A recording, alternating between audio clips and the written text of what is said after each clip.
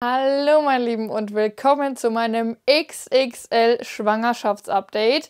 Vierte Schwangerschaftswoche bis 15. Schwangerschaftswoche. Aktuell bin ich nämlich in der 15. Schwangerschaftswoche und ich dachte, ich erzähle euch einfach mal von meinen ersten Wochen der Schwangerschaft, wie geht es mir, wie ging es mir und wie ist der Bauch schon gewachsen. Ich Pack euch also ab und zu mal ein Bauchfoto mit rein, dass ihr einfach schon so ein bisschen vergleichen könnt. Wenn euch mehr zu der Schwangerschaft interessiert oder allgemein unserem Alter, schaut gerne auf Instagram oder TikTok vorbei. Bei Instagram gibt es täglich Stories und Updates und bei TikTok gibt es jeden Tag ein Video. Ich habe mir hier schon meinen Mutterpass geschnappt und war jetzt auch schon zweimal beim Frauenarzt.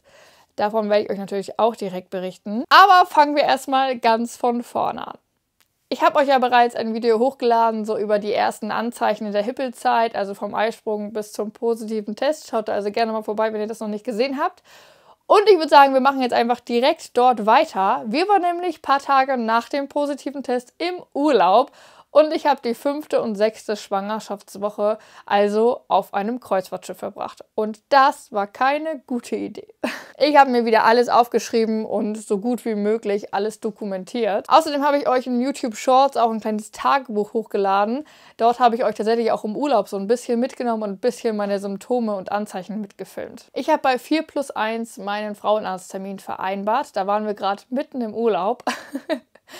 Und ja, genau, ich habe einfach ein paar Tage gewartet, weil wir einfach wegen dem Urlaub so viel Stress hatten. Und genau, bei 4 plus 1 habe ich also dort angerufen und wir haben auch einen Termin bekommen für nach den Urlaub, natürlich. Und am Anfang hatte ich im Urlaub auch gar keine Anzeichen. Wir waren zwei Wochen dort und die erste Woche ging es mir richtig, richtig gut. Ich war einfach nur so ein bisschen müde, aber ansonsten ging es mir echt top.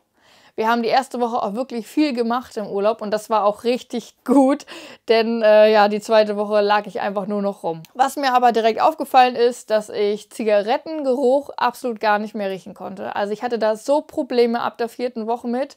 Wir hatten nämlich im Urlaub ähm, die Nachbarn haben auf dem Balkon ständig geraucht und ja klar, ist natürlich auch okay.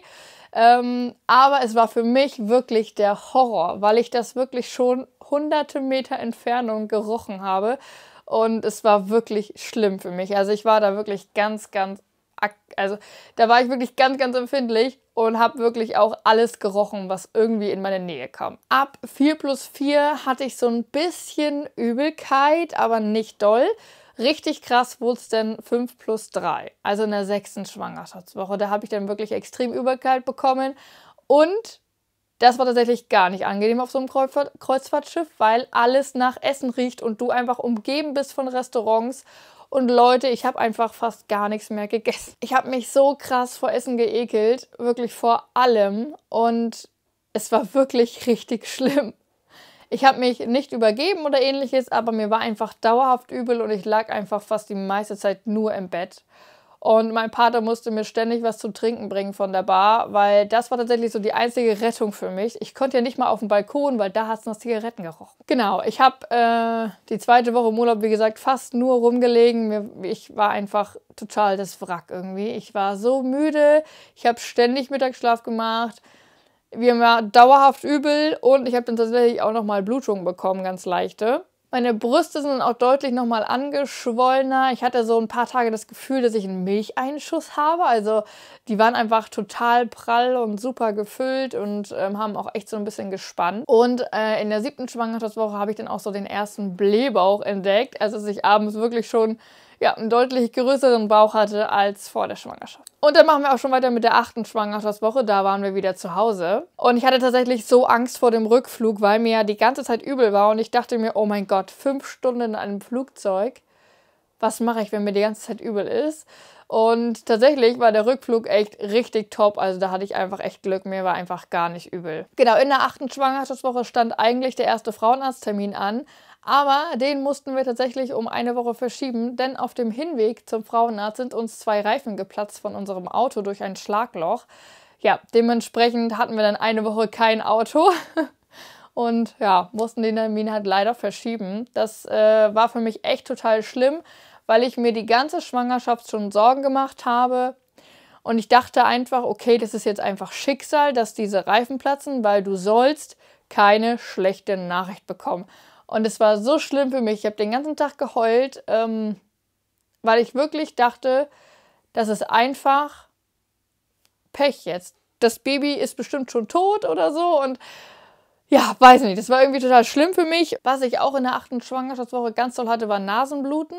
Also meine Nase war unglaublich empfindlich und ich hatte tatsächlich auch dort wieder immer ab und zu mal Blutungen. Aber es hat mich so gar nicht verunsichert irgendwie. Also es war total komisch, aber mein Mutterinstinkt hat einfach gesagt, so, das sind so kleine Blutungen, das wird schon nichts mit dem Baby sein. Ähm, deswegen war ich da total entspannt. Ja, ansonsten einfach nur Unterleibschmerzen, Hunger, Übelkeit, müde. So die typischen Anzeichen für die ersten Wochen der Schwangerschaft. Und dann hatten wir tatsächlich auch schon den ersten Frauenarzttermin. Und das Baby war dann 1,2 Zentimeter groß und hat zum Glück einen wunderschönen Herzschlag gehabt. Ich suche euch mal eben das Bild raus, dann kann ich euch das nämlich auch direkt einmal zeigen. Ich habe natürlich auch direkt meinen neuen Mutterpass bekommen, denn der alte ist natürlich jetzt voll. Es ist die dritte Schwangerschaft und in so einen Mutterpass passen ja immer nur zwei Schwangerschaften rein. Dementsprechend habe ich einen neuen bekommen. Auch sehr schön habe ich direkt beim ersten Termin bekommen. Und das Ultraschallbild von unserem Baby sah so aus. Genau, da schwimmt unser 1,2 cm großes Baby rum. Und alles sah super aus. Wie gesagt, auch ein Herzschlag hat sie sofort gefunden und es war für mich einfach eine unglaubliche Erleichterung. Das könnt ihr euch gar nicht vorstellen. Meine Schilddrüse wurde auch nochmal kontrolliert und ich wurde erhöht auf 50er Schilddrüsentabletten, weil ich eine Schilddrüsenunterfunktion habe. Aber das kenne ich schon von den anderen Schwangerschaften, denn dort wurde ich auch immer erhöht. Was ich in der neunten Schwangerschaftswoche auch hatte, war Durchfall. Ja, sorry, too much informations, aber das gehört halt einfach irgendwie dazu. Ich habe gehört, dass das durch die Übelkeit kommen soll, weil halt der komplette Magen-Darm-Trakt einfach komplett durcheinander ist. Und genau, also Durchfall und Übelkeit waren einfach neunte, zehnte Woche so absolut mein Begleiter. Ja, zehnte Schwangerschaftswoche auch immer noch Übelkeit, Brüste, die richtig groß geworden sind und ich hatte schon ab und zu abends einen richtigen, richtigen Blähbauch. Und da hatten wir tatsächlich auch schon den nächsten Frauenarzttermin in der zehnten Schwangerschaftswoche. Wir haben einen Termin für das Ersttrimester-Screening vereinbart und die Ärztin hat tatsächlich zu mir ins Gesicht gesagt, ja, wir machen nochmal einen Termin zwischen dem Ersttrimester-Screening und dem ersten Ultraschall, weil ich sicher gehen möchte, dass das Baby dann noch lebt. Das war irgendwie ein bisschen komisch, weil ich dachte, okay, sieht doch alles super aus, wieso sollte mein Baby dann jetzt in zwei Wochen tot sein?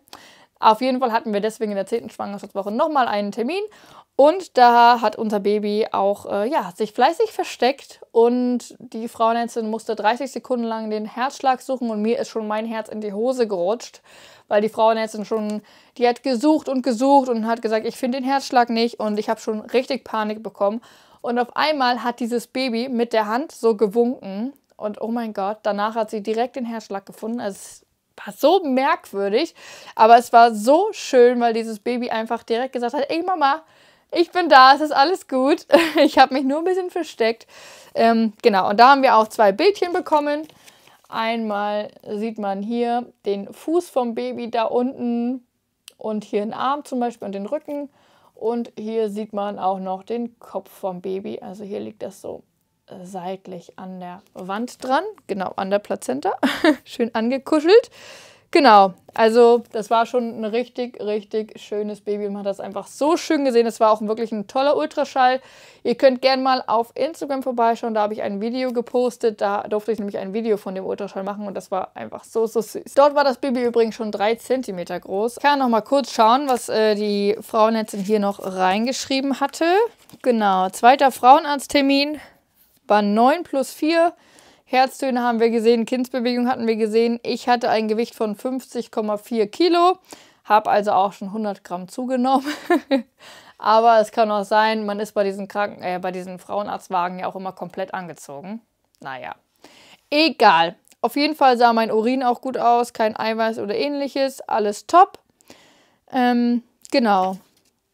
Das hatte sie aufgeschrieben und sie hatte dann auch aufgeschrieben, weil wir dann Sie hatte hier direkt das erste Screening ausgefüllt im Mutterpass und da hat sie auch nochmal einfach nur alles reingeschrieben, dass alles super aussieht und dass das Baby eben äh, 2,8 cm ist. Genau, Schwangerschaftswoche 11 ging dann äh, weiter mit ordentlich Rückenschmerzen und ähm, dass der Babybauch auch wieder ein bisschen gewachsen ist. Äh, da fing es dann wirklich so richtig an, dass man wirklich auch schon morgens wenn ich im Bett gelegen habe, wirklich schon eine kleine Kugel gesehen hat, dass die Gebärmutter einfach jetzt schon ein bisschen übers Schambein gerutscht ist. Und natürlich auch wieder ordentlich Unterleib ziehen. Also ich habe die Mutterbänder einfach extrem gespürt. Ja, 12., 13.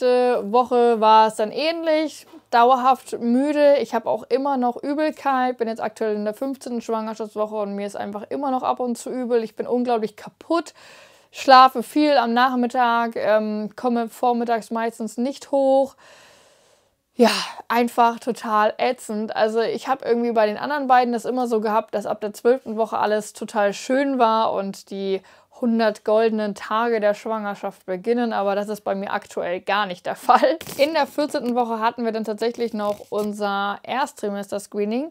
Das war jetzt ziemlich spät für die 14. Woche, aber das ist absolut okay. Ähm, wir haben uns unglaublich gefreut auf den Termin und ich habe auch wieder ein Bildchen bekommen. Das Baby hat sich überhaupt gar nicht zeigen lassen. Die Frauenärztin war echt super, super genervt. Sie hat halt öfter gesagt, oh Gott, oh Gott, ich muss mich jetzt hier echt ein bisschen zusammenreißen und mich in Geduld üben, weil dieses Baby hat sich einfach ständig weggedreht und hat sich so gar nicht zeigen lassen. Ganz schlimm ähm, war das Thema Herz. Also die Frauenärztin konnte das Herz einfach nicht richtig darstellen. Dementsprechend hat sie über 40 Minuten Ultraschall gemacht und dann auch nochmal vaginal probiert. Das war ja eigentlich der erste Bauchultraschall, aber ähm, das hat nicht so ganz funktioniert, weil das Bild irgendwie zu ungenau war. Also das Bild war einfach unglaublich verschwommen. Das sieht man hier auch auf dem Ultraschallbild sehr, sehr gut. Sie meint, es könnte daran liegen, dass ich mir einen Tag vorher den Bauch eingecremt habe.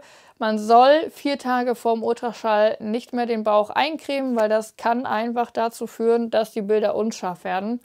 Ich habe dazu auch nochmal einen TikTok gemacht. Viele haben geschrieben, dass es totaler Quatsch ist. Aber ich höre da auf meine Frauenärztin und creme jetzt nicht mehr vier Tage vor dem Ultraschall ein, weil man sieht ja einfach echt, echt total deutlich, wie ähm, unscharf das Bild geworden ist. Sie hat es dann, wie gesagt, nochmal vaginal probiert und das hat dann auch besser geklappt. Da konnte sie das Herz dann auch gut sehen.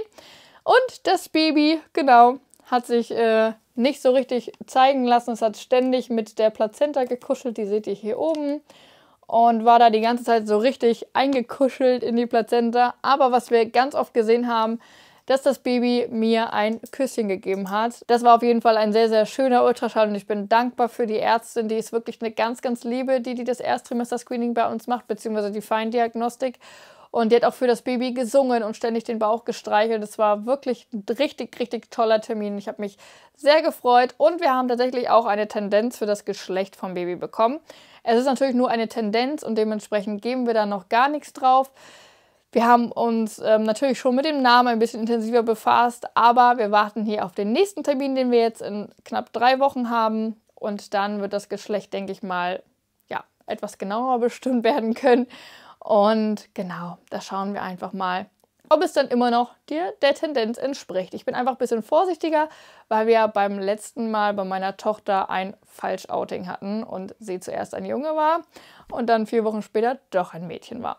Dementsprechend warten wir einfach, aber es ist schon mal schön, dass alles gesund ist. Ich habe tatsächlich auch vor ein paar Tagen den Anruf bekommen, dass unser Baby wirklich top gesund ist und ja, dieser ähm, NIP-Test auch positiv ausgefallen ist. Das Baby hat einfach keine Anzeichen für eine Trisomie-Störung und genau die Chance, dass unser Baby eines der drei Trisomie-Erkrankungen hat, nennt man das so? Ich glaube ja, liegt bei 1 zu 20.000. So ein Ergebnis hat unsere Ärztin noch nie in ihrer Karriere gesehen und hat gesagt, das ist wirklich fantastisch. Und da bin ich natürlich einfach unglaublich glücklicher drüber. Denn wir hatten tatsächlich Ringelröteln im Kindergarten. Und meine Tochter war dementsprechend jetzt knapp zwei Wochen nicht im Kindergarten, weil Ringelröteln unglaublich gefährlich sind für Schwangere. Ich habe das natürlich direkt beim Frauenarzttermin angesprochen. Zum Glück lag der Frauenarzttermin direkt in dieser Zeit und ich konnte es direkt ansprechen. Und mir wurde Blut abgenommen. Ähm, es wurde einmal getestet, ob ich immun gegen Ringelröteln bin. Es kann sein, dass du in deiner Kindheit schon mal Ringelröteln hattest und dann eben später keine Ringelröteln mehr bekommen kannst. Du bist dann immun. Und Ringelröteln sind an sich überhaupt nicht gefährlich für Kinder und Erwachsene, aber sie sind halt unglaublich gefährlich für Schwangere, weil sie die roten Blutkörperchen angreifen und auch bei 30 Prozent der erkrankten Schwangeren eben aufs Baby übergehen können und dort eben auch durch die Plazentasperre zum Baby gelangen können und dort die roten Blutkörperchen so doll angreifen, dass es zu einer Blutarmut führen kann. Und 16 Prozent der Kinder, wo die schwangeren Mütter erkrankt sind, haben wirklich massive Probleme bis zur Fehlgeburt, weil sie einfach kein Blut mehr haben. Das Ganze ist unter der 20. Schwangerschaftswoche unglaublich gefährlich. Also falls ihr in irgendeinem Umfeld bei euch gerade Ringelröteln rumgehen habt oder im Kindergarten oder ähnliches, lasst euch bitte beim Frauenarzt testen. Das ist eine einfache Blutabnahme, die bei euch stattfindet und dann wird es getestet. Das hat bei mir jetzt 40 Euro gekostet. Ich versuche das von der Krankenkasse wiederzubekommen. Wenn nicht, ist es auch okay. Wie gesagt, geht es hier einfach um die Sicherheit meines Kindes. Und wir haben da eben ein paar Tage vor diesem Ultraschall drüber nachgedacht und ich habe viel gegoogelt und viel mit äh, schwangeren Freunden gesprochen und mir, uns war das Geschlecht einfach wirklich schon von Anfang an total egal und jetzt war es uns noch egaler, weil ich wollte einfach, dass dieses Baby gesund auf die Welt kommt, weil wenn man dann wirklich so über so Ringelröteln und sowas nachdenkt, hat man einfach nur noch Angst als Schwangere. Genau, das wollte ich euch nur noch auch nochmal erzählen, dass das auch gerade bei uns Thema war. Vor ein paar Tagen kam der Anruf, dass ich immun bin und mein Baby dadurch auch geschützt ist. Und genau, heute habe ich den Verdacht, dass meine Tochter Ringelröteln hat. das muss ich nachher auf jeden Fall nochmal abklären lassen. Sie hat heute den typischen Ausschlag auf den Wangen bekommen.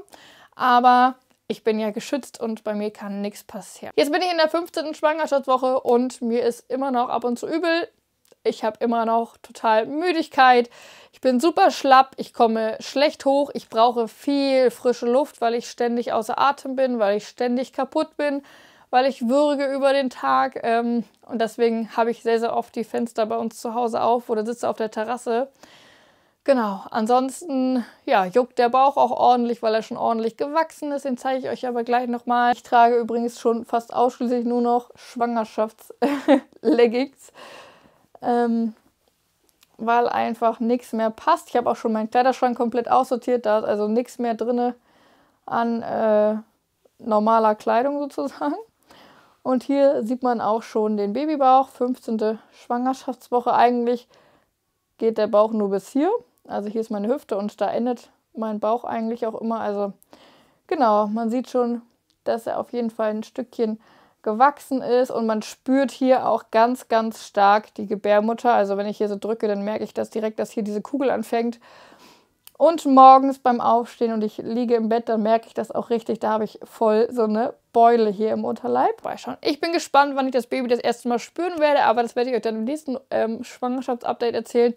Und ich hoffe, wir sehen uns dann wieder. Und dann wünsche ich euch einen ganz, ganz wundervollen Tag. Ich hoffe, euch hat das Video gefallen. Schreibt es mir gerne in die Kommentare. Ich bin ganz gespannt.